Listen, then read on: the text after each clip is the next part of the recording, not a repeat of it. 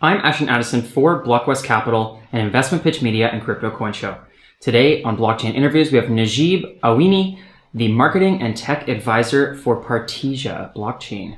Najib, welcome to the show, and it is great to have Partisia back on again. I'm excited for this discussion. Thanks for the invite, uh, Ashton. I'm pleased to be there today with you. Likewise, I would love to kick off our talk with just, first of all, hearing a little bit about your background in the blockchain space and how that led to you working with Partisia Blockchain. Yes, so um, I'm coming from the cybersecurity space uh, with 20 years of experience around this space. Uh, I used to work in a large uh, digital identity program when I was working in a previous life, let's say, in France, with large corporations like Thales and working in digital ID system. Uh, working with digital ID system give you a, an overview of, of personal data, privacy, and security. And, mm-hmm. and going, going with large program like uh, the Department of Defense in US, mm-hmm. uh, French passport, you know, I was leading the French biometric passport and yeah. the I- identity program for Morocco government. Uh, you, you, you make aware that uh, privacy is really a concern when you, when you want to, to centralize a large database of identity. So Definitely. then I specialized around this space and smoothly go to the blockchain because I would like to, to, to go for a decentralized way to store identity. So this is my, my jump to the centralized world to the decentralized world. Very cool, Nagib. Great background. And there's definitely a lot of privacy aspects that still need to be integrated uh, into the blockchain space. You know, there, there's a lot of initiatives, but I don't think there's any foolproof solution right now. And I know Partisia is working on some other security and privacy aspects with their layer one protocol. Um, I would love if you could elaborate just for the audience that hasn't heard of Partisia blockchain, just what is Partisia blockchain and an overview of some of the main solutions they're trying to drive into the market. Yes, so if you look the the blockchain ecosystem today, uh, you will find a lot of blockchain uh, layer one, layer two solutions uh, that that focus on two two very important things: that smart contract capabilities and scalability. But the privacy aspect is, let's say, not really focused for this kind of blockchain. Even for Ethereum blockchain, this is not addressed today well uh, with a large platform. Um, and Partisia would like to solve that, let's say, uh, remaining topic. And and the, the the team around Partisia is really specialized on what we call multi-party computations. So it's mm-hmm. a breakthrough mathematical uh, techniques that allow, for example, two-party to compute on data without disclosing their data and, this, and, the, and their uh, the computations. Uh, if you take an example between you and me, Ashton, we can say we have together a salary and we don't want to dis- disclose the value of salary.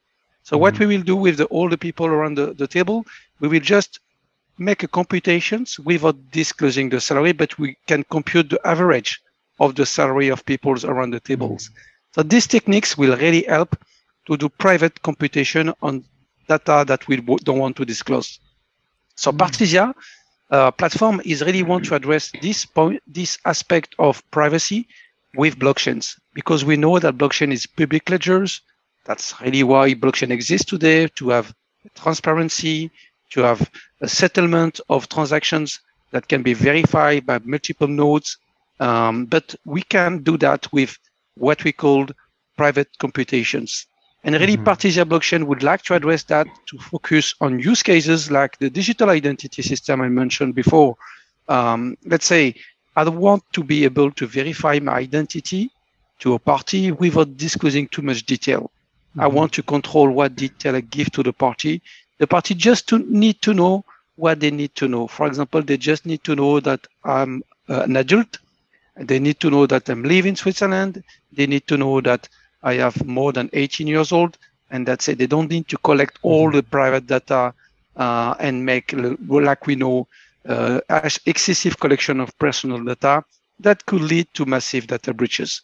Mm-hmm. So Partisia blockchain has two aspects: the scalability, also like other blockchains try to address, but one unique aspect uh, Partisia is focusing is privacy, mm-hmm. and we focus on on, on social impact project myself, I'm involved in many humanitarian projects. We are mm-hmm. soon uh, announce a very major uh, uh, solution we do for NGOs because we would like to focus on social impact and uh, social goods.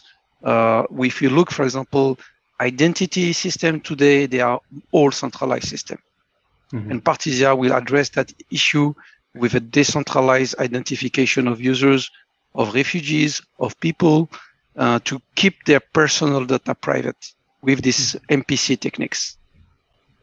Definitely. Yeah, great uh, info, Nagib. And with the secure MPC multi-party computation, I've heard of that as a, a privacy functionality in blockchains before. Uh, but I'm curious, you know, how easy is that to implement into the blockchain and then into the ecosystem where, you know, there's a lot of people using Ethereum or there's other blockchains and the privacy function is only, I'm guessing it's going to start by focusing on, on Partisia. It has MPC, but really the rest of the industry would need to catch up to implement these kind of yes. privacy techniques.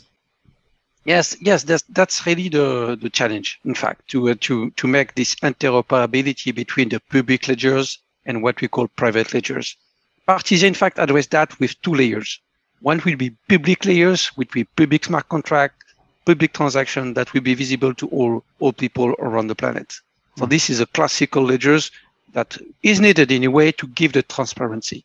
But we need a second layer. The second layer will run private smart contract and private transactions. Mm-hmm. Why we need these two layer? We need to be complete. We need to complement the, the let's say the missing po- the missing part of other blockchains. But we need to be compatible with other blockchains by give give them the way to write transactions that can be hidden to other parties. And when mm-hmm. I say hidden, we don't want to disclose, for example, when you do an auction, you don't want to disclose the price of the auction. We want to disclose the winner of the auctions. Mm. So that's why we need this private layer and we need these private smart contract executions. Mm-hmm. So these two layers will help to get the bridge to get, let's say, the other blockchains. And we have a unique capability that is called bring your own coin, BYOC. So if you look uh, the way Partisia works, you can take your Ethereum coin, you can take your Cardano, whatever coin you have, to the public ledgers and make private transaction on the second layer. That's mm. the unique capabilities uh, in fact, do not other blockchain addresses. They, they have their own token for their own system, ecosystem that make difficult to make interoperability between blockchains. And if you look the landscape of blockchains today, and I've been in this space since several years, like the fa- last five years when I was started to work on, on, on Bitcoin, um, now I think you get lost with all these blockchains every day, every month. Mm-hmm. We have a new blockchain with a new token, uh, utility token, new smart contract language, new uh, new capabilities. But they all in fact reinvent the same uh, things, uh, and they do not uh, address the really essential point when you work in blockchains: is transparency, scalability, but as I said before, privacy. Yeah. And if you bring privacy to the blockchain, then you have a winning solution. You have something that make blockchain secured, make blockchain transparent and make blockchain confidential because you need confidentiality if you work in the enterprise. Not mm-hmm. only you need confidentiality when you work, for example, on digital identity system, healthcare system, and also auction. We talk about NFT. NFT, you do auction.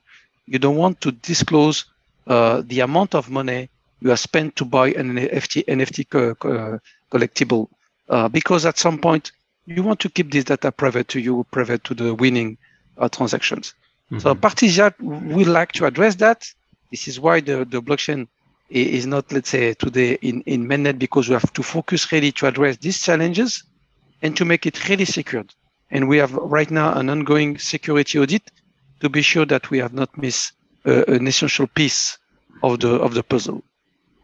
Definitely. Thanks for that background, Nagib. And that sounds really interesting about the layer two that you were talking about.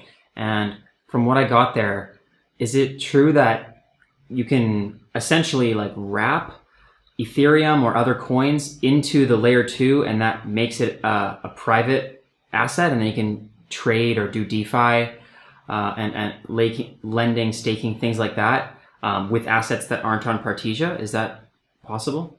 Yeah, that's the concept called bring your own coin, BYOC. Mm-hmm. You know, uh, this is the essential piece of Partisia blockchains. Uh, I cannot tell more on that topic because I, I, today I didn't experience myself uh, these functionalities, but it's coming around uh, soon. So I prefer to to not disclose too much technical detail. It's better better to wait the the first smart contract that showcase that capabilities that uh, developers are focusing today. Uh, what I can disclose today is we are developing, uh, for example, an applications that is, uh, you know, you know, in Switzerland we have done this health pass, you know, like all the mm. countries that develop yeah. healthcare pass, uh, COVID pass. So Switzerland has developed one which is fully open source, fully mm. open source, wow. fully this, fully, uh, let's say, capable of, of, of not giving too much personal detail.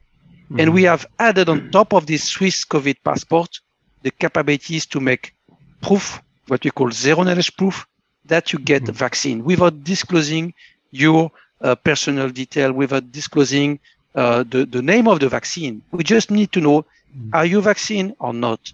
And this mm-hmm. proof has been written on Partisia blockchain and executed via smart contract.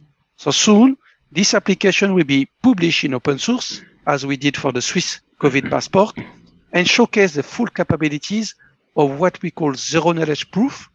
Mm-hmm. Uh, and this, this case is really essential if you look uh, developing countries in Africa, they don't have a, a, modern PKI infrastructures like we have in Europe to verify yeah. signature, digital signature. It's too complex because you have to have a, a centralized system again with a central si- signing system.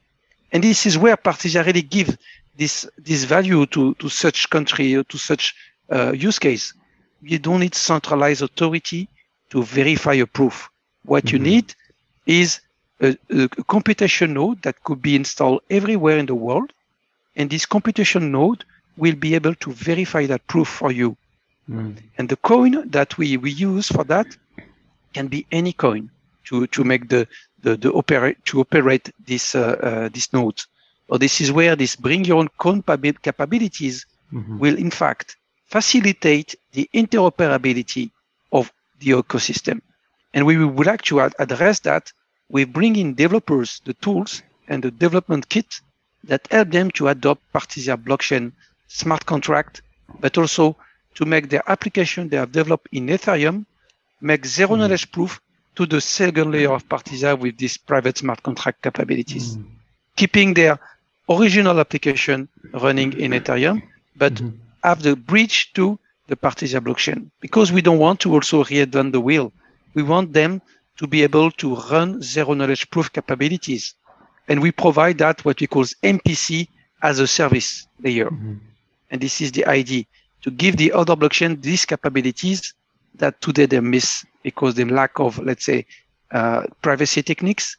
Uh, and to be clear that the teams around Partisia is massive. You know, if you look the the team around is is, is a research more than let's say thousand people research around that. So it's mm-hmm. not like invented in two years. It's not a, it's really massive research around that. We have well-known professors working on it, and it, it, the team is amazing. They really understand the the uh, essential piece of of the of the techniques, which is making private computation, private uh, uh, secret sharing, and also private transaction. Mm-hmm. Incredible, Nagib. I think that's going to be very promising for Ethereum and having that uh, as a service where you can plug it into you know the existing ecosystems. So I'm looking forward to seeing how that plays out.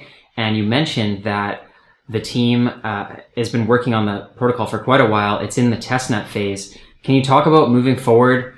You know, when are you anticipating a mainnet launch, and you know what are the next big milestones coming up leading towards that?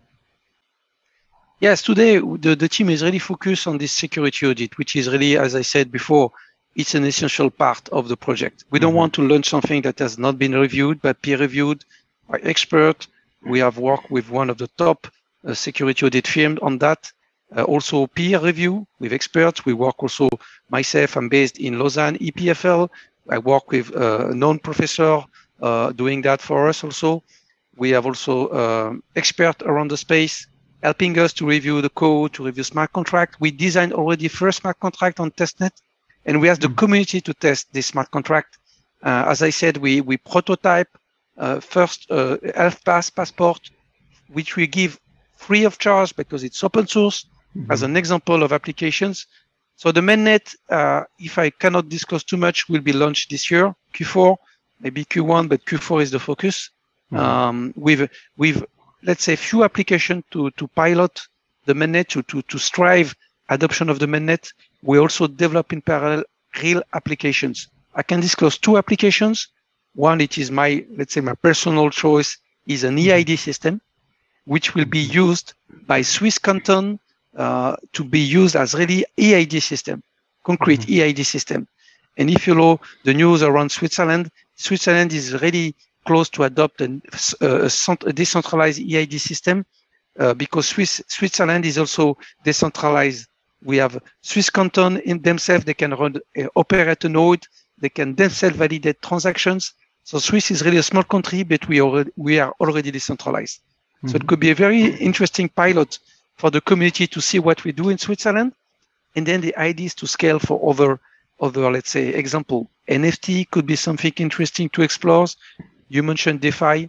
Uh, there is, I think, a limited use case, and we will let the community to define the use case. Partisia Foundations has developed a grant program uh, to help developers to develop, adopt, and make real concrete application around Partisia blockchains. Mm-hmm. So let's see what the community is doing around Partisia. Maybe we will have very interesting use case and applications around this MPC as a service, which is today unique uh, in the in the blockchain space. I completely agree, and I'm looking forward to seeing those applications roll out uh, and towards the mainnet launch. Uh, for the viewers that are looking to follow along, Nagib, with uh, for towards the mainnet launch and all of these updates that are coming out, what's the best way for them to learn more about Partisia? So in fact, if you want, there is a very interesting articles on the Medium page of Partisia. Mm. It starts with several parts. If you start, I recommend really to start from the part one, which mm. explains the overall uh, description of Partisia. Uh, so this is for introduction for people to get into this MPC, zero knowledge proof, mathematical things.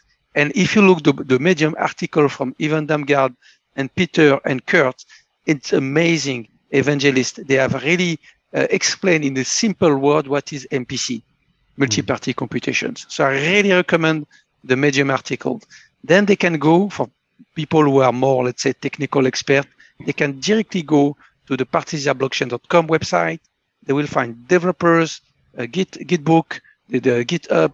Also, they will look the uh, documentation around running a node, uh, setting a node on the testnet. They will get a lot of MPC token to evaluate the testnet.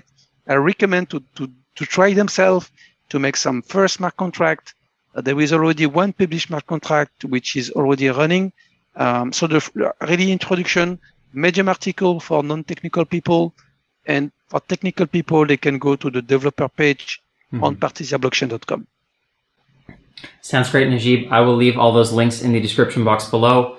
All the Thank best you. to you and your team moving forward with the Partisia launch, and let's follow up in the near future. Thank you, Ashton, for your interview.